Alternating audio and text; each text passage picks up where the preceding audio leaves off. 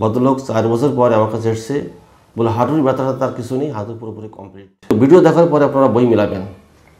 দেখবেন যে কতদূর সম্ভব মিলে যাচ্ছে। এটা অভিজ্ঞতার ভিত্তিতে যে ভিডিওগুলি আপনাদের দিচ্ছি, সবসময় আপনারা ভিডিও দেখবেন, আপনাদের অভিজ্ঞতা অবশ্যই তাদের অ্যালোপ্যাথি খাইছে বহুত দিন এক্স রে করেছে এমআরআই করেছে। করার পরে কোনো রিপোর্টে কোনো কিছু আসেনি। শুধু তারা বলেছে, তোমার হাড় ক্ষয়ে গেছে, হাঁটুর হাড় ক্ষয়ে গেছে। নমস্কার, আমি ডাক্তার প্রদীপ কুমার বিশ্বাস। হোমিও ক্লিনিক চ্যানেলটা আপনাদের স্বাগত। আজ আপনাদের সামনে আমি আর্থালজিয়ার অর্থাৎ গেটে বাতের বা সন্ধিশুলিয়ার কিছু অভিজ্ঞতা শেয়ার করছি, যেগুলি এখন নাইনটি ফাইভ পার্সেন্ট ক্ষেত্রে, মানুষের ক্ষেত্রে, বিশেষ করে মহিলাদের ক্ষেত্রে প্রযোজ্য। এবং এই সন্ধিশুলি মহিলাদের বেশি পড়ছে এবং এদের ব্যথাটা বেশি। পুরুষরা যে হয় না তা না, পুরুষরাও আছে। একটা ভদ্রলোকের বয়স সত্তর থেকে পঁচাশির মধ্যে আসবে ভদ্রলোকের বয়স, সঠিক বলতে পারে না। বললে আশি, পঁচাশি হবে আর কি। সত্তর, বাহাত্তর এরকম হতে পারে, আমার মনে নেই। যাই হোক, বয়স হয়ে গেছে। দুই হাঁটুতে দুই হাঁটুতে ব্যথা। ব্যথা, এত ব্যথা চলাফেরা করতে পারে না। মানে উঠিয়ে বসে থাকলে ভালো লাগে। যখন বসে থাকে কোনো সমস্যা তার নেই। একদম পুরোপুরি সুস্থ। উঠতে গেলে কষ্ট, হাঁটাচলা করলে আরও কষ্ট। অত দশ কদম হাঁটলো আর বসে হাঁটতে পারছি না, খুব কষ্ট আসছে হাঁটুর ভিতর ব্যথা, প্রচণ্ড ব্যথা। এইভাবে চলতে লাগল। হালকা পাতলা চেহারা, মোটা তাজা না, হালকা পাতলা চেহারা। তা প্রায় দশ বছর ধরে ভুগতেছি ভদ্রলোক। আমাকে ফোনে বলল, আমি দশ বছর ধরে ভুগতেছি, আমার ব্যথা সারে না। আমার মাঠে জমি আছে। জমি জায়গা দেখতে হয়, চলাফেরা করতে হয় খুব। এবং লাঠি আছে, তার দুটো লাঠি আছে, দুই হাতে দুটো লাঠি নিয়ে ঘুরে বেড়াই লাস্টে আমার কাছে এলো যে আমি আর কি অ্যালোপ্যাথির কাছে গেছিলাম তো দশ বছর ধরে অ্যালোপ্যাথি খাচ্ছি। লাস্টে বলেছে যখনই ব্যথা হয় তখন অ্যালোপ্যাথি ব্যথার ট্যাবলেট খাই। খেতে খেতে আমার শরীরটা খারাপ হয়ে গেছে, কিডনি শেষ, লিভারের সমস্যা বেশি হয়, হার্টের সমস্যা আছে গেছে, অ্যালোপ্যাথি খেতে খেতে। কিন্তু ব্যথার কিছু হয়নি। যখন ট্যাবলেট খাই তখন ঠিক আছে, পরে যাতাই লাস্টে আমার কাছে এলে বলল, সব বিষয়ে শুনলাম। শুনিয়ে আমি তাকে ডায়াগনোসিস করলাম। সকালে আর্নিকা থার্টি পাওয়ার আর বিকেলবেলায় ব্রায়োনিয়া। সকালে আর্নিকা থার্টি ফোর একটা ফোঁটা, বিকেলে ব্রায়োনিয়া থার্টি ফোর একটা ফোঁটা। সঙ্গে ক্যালকেরিয়া ফার্স্ট থার্টি এক্স চারটে কুড়ি ট্যাবলেট, দিনে দুবার গরম জলের সঙ্গে। তাকে এক মাসের ওষুধ দিলাম, এক মাস। বললাম, আমাকে পনেরো দিন পরে ফোন করে বলবে। তো সে লোক সাত দিন পরে ফোন করে বলছে, দাদা, ব্যথা তো অনেক কমে গেছে। আমি হাঁটাচলা করছি কিন্তু করলে ব্যথা বেশি হচ্ছে। আমি বললাম, এক মাস খেয়ে যাও। Calcarea first thirty X continue. চারটি করে দুবার গরম জলের সঙ্গে। আর সকালে আর্নিকা বিকেলবেলায় ব্রায়নিয়া কন্টিনিউ কিন্তু বন্ধ নেই, একদিনও বন্ধ নেই। চলবে কন্টিনিউ বছরের পর বছর চলবে। এক মাস খাওয়ার পর বলছে, দাদা, অনেকটা ভালো হয়ে গেছে আমি পুরোপুরি প্রায় সুস্থ হয়ে গেছি, আমি হাঁটাচলা করছি, কোনো অসুবিধা নেই। আমার কিছু হয়নি।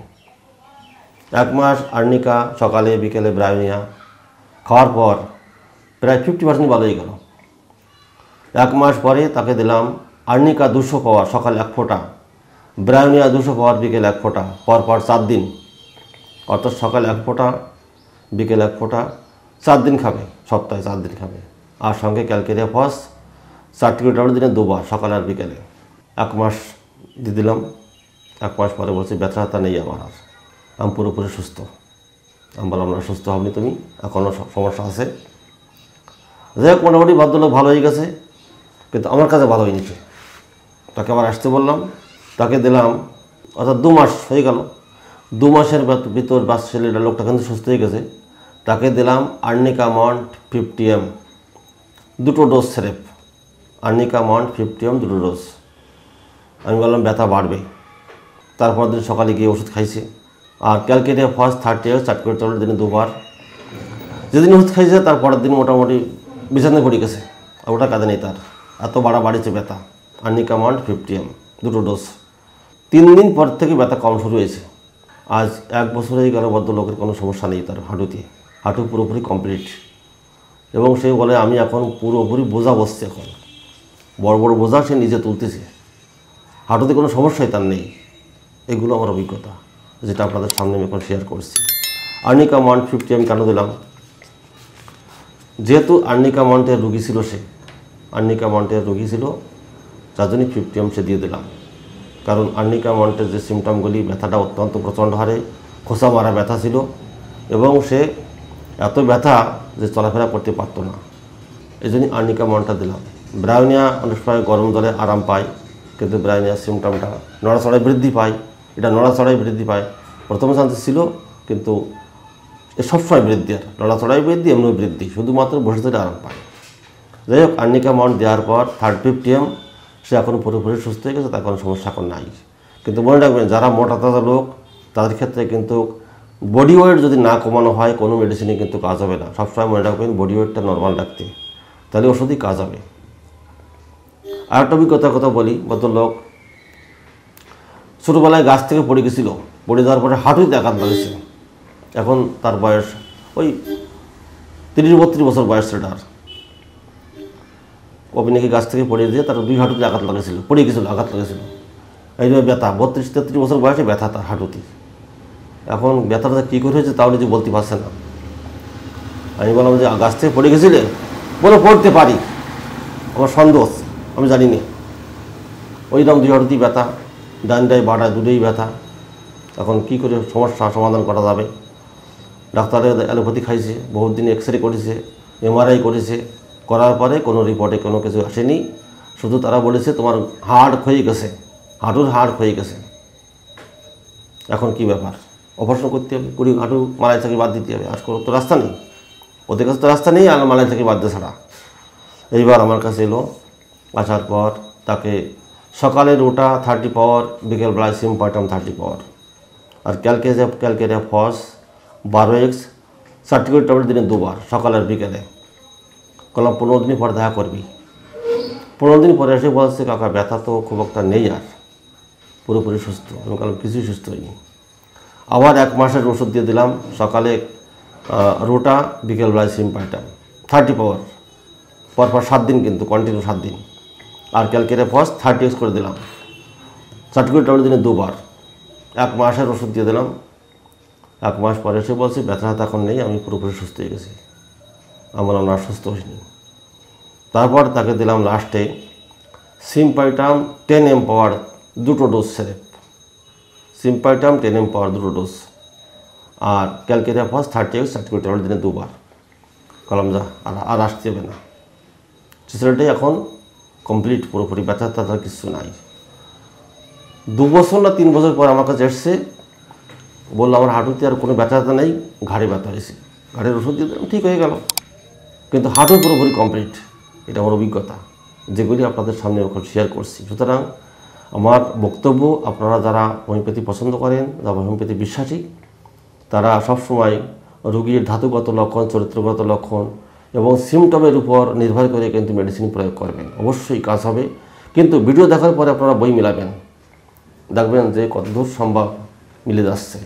এটা অভিজ্ঞতার ভিত্তিতে যে ভিডিওগুলি আপনাদের দিচ্ছি সবসময় আপনারা ভিডিও দেখবেন, আপনাদের অভিজ্ঞতা অবশ্যই বাড়বে। যারা নতুন চিকিৎসক বা যারা হোমিওপ্যাথি পছন্দ করেন। আরেকটা ভদ্রলোকের কথা বলি। ভদ্রলোক বোঝা তুলতে গিয়ে তার হাঁটুতি মস্কে গেছিল, বা হাঁটুতি তা প্রায় পনেরো কুড়ি বছর আগের কথা। বোঝা তুলতে গিয়ে লাগেছিল বা হাঁটুতে মস্কে গেছিল। এমন মস্কা লাগেছিল যে সে চলাফেরা করতে পারছিল না। এইবার সে আটা আসলে এখনও করতে পারে না।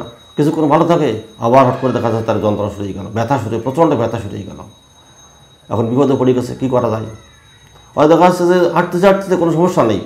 হট করে ব্যথা আরম্ভ হয়ে গেল, আর সে তার নড়াচড়া করতে পারছে না সব বসে পড়বে সঙ্গে সঙ্গে সঙ্গে সঙ্গে বসে পড়বে।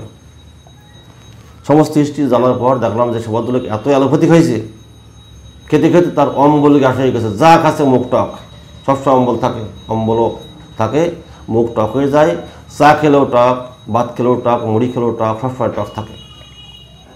আমি বললাম, তো মহা সমস্যা পড়ে গেছে। বললাম বিরাট সমস্যা অপারেশন ছাড়া রাস্তা নেই। ডাক্তারে বলে দিয়েছে অপারেশন করে হাঁটুর মালাই থাকে বাদ দিতে হবে। প্রচুর টাকার ব্যাপার। ঠিক আছে, দেখা যাক, কিছু করা যায় নাকি?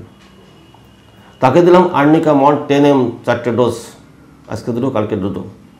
আর ক্যালকেরিয়া ফার্স্ট থার্টি এক্স চারটে করে টমেটো দিলেন দুবার। সঙ্গে রবিনিয়া মাদার খাওয়ার পরে পাঁচ ফোঁটা করে তিনবার। এক মাসের ওষুধ। চারটে ডোজ এক মাস। আর সঙ্গে রবিনিয়া প্লাস ক্যালকেরিয়া ফার্স্ট এক মাস পরে এসে বলছে, কাকা, ব্যথা তো অনেক কমে গেছে আমি মোটামুটি সুস্থ হয়ে গেছি বলছি।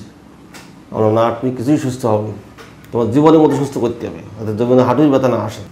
এক মাস পরে তাকে দিলাম আর্নিকা মাউন্ট ফিফটি এম দুটো ডোজ সেফ দুটো ডোজ আমি করলাম তিন মাস পরে দেখা করব। আর সঙ্গে ক্যালকেরে ফার্স্ট থার্টি এক্স একবার। আর রবিনিয়া মাদারটা বলো, নম্বল গ্যাস আর খুব নেই। আমি বললাম তাহলে রবিনিয়া মাদারটা একবার খাবার রাত্রে শোয়ার সময়, খাওয়া দাওয়ার পরে পাঁচ ফোঁটা। যাই হোক, তিন মাস পরে এলো, ওষুধ তো শেষ হয়ে গেছে অনেকদিন আগেই। আসার পর বলছে, ব্যথা তো এখন নেই, আমি মোটামুটি সুস্থ আছি, তবে অম্বলটা মাঝে মাঝে ভাসছে। আমি তাকে দিলাম আর্নিকা মন্ট সিএম একটা ডোজ। আর রবিনে মাদা রাত্রে শোয়ার সময় একবার, ক্যালকেরিয়া ফাঁস সকালে ভোরবেলা উঠে একবার। সাত কিলো ট্যাবলেট গরম জলের সঙ্গে। বলে আমার আসছে না। ভদ্রলোক চার বছর পরে আমার কাছে এসছে, বলে, হাঁটুর ব্যথাটা তার কিছু নেই, হাঁটু পুরোপুরি কমপ্লিট এটা আমার অভিজ্ঞতা। যেগুলি আপনাদের সামনে আমি এখন শেয়ার করলাম। সুতরাং ভিডিওটি আপনাদের ভালো লাগলে আপনারা শেয়ার করবেন লাইক করবেন এবং সাবস্ক্রাইব করবেন। নমস্কার।